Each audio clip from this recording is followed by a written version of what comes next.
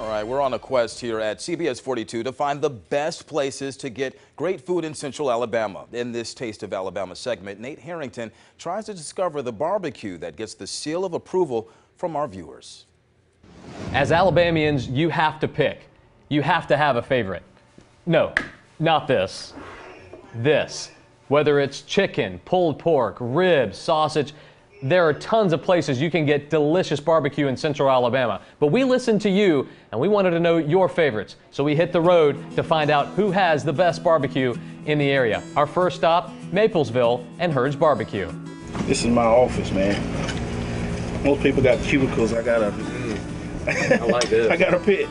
And we just started out just cooking um, for friends, and we would just pretty much just give food away, just because I love to cook so much.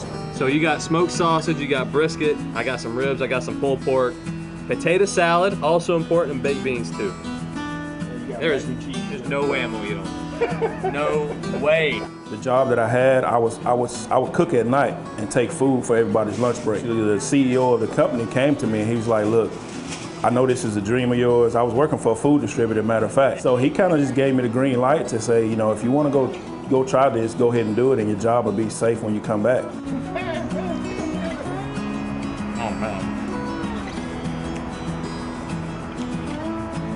The process that, that goes into it is time consuming, but then the reward comes when you see somebody sit down and actually enjoy. Or the biggest compliment that I get is somebody tell me that's the best thing they ever ate in their life. That's good. We go from Hurd's Barbecue in Chilton County up I-65 to Johnny's Barbecue, a staple in Cullman. We uh, traced it all the way back to 1949, uh, and Johnny Graves was the original owner. My dad purchased it in 1963 from, from him, and uh, we've owned it ever since. So what is that, 56 years, family owned and operated. I gotta do this first. I'm getting that. We got ribs, chicken, catfish, just about just about everything you name it. These are wonderful. I think the key to, to it is the sauce. And, and w- when Dad bought the restaurant, he had to purchase the recipe for the sauce. Everybody makes a different type of sauce, but, but when you've grown up on something, it's, you want to come back to it. Oh,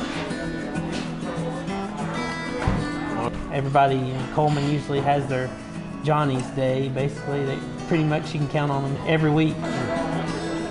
one more bite.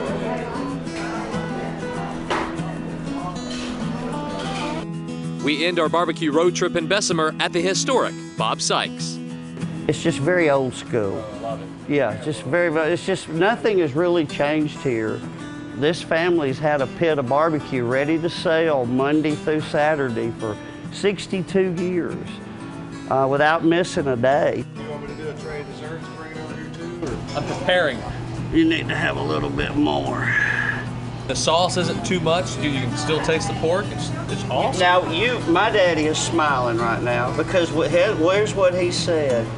I don't want that sauce to cover up all the work Oh. I've been doing on the grill. So what you just said right there is Oh, just yeah. is really magic to me because that's exactly what we're doing. Yeah.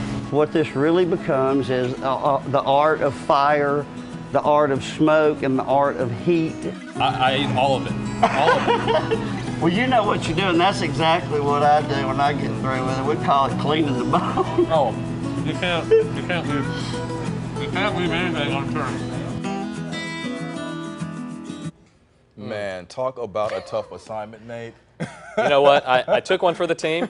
I, I drew the short straw, so to speak. No, no. I, each one of those places had its own character. I, I love to tell the stories of these Yeah. of these places because it's really the story behind it. They all love barbecue, but you know the history behind uh, Bob Sykes and Johnny's, and then Hurd's Barbecue down in Maplesville. All these places, if you live in different parts of Central Alabama, they're all worth the drive. And there's tons of places I wasn't able to get to. Wow. I just wish I had a little bit more time. It goes to show that Alabama really has some good barbecue. Oh, I it's mean, it's some of the best in the in the world.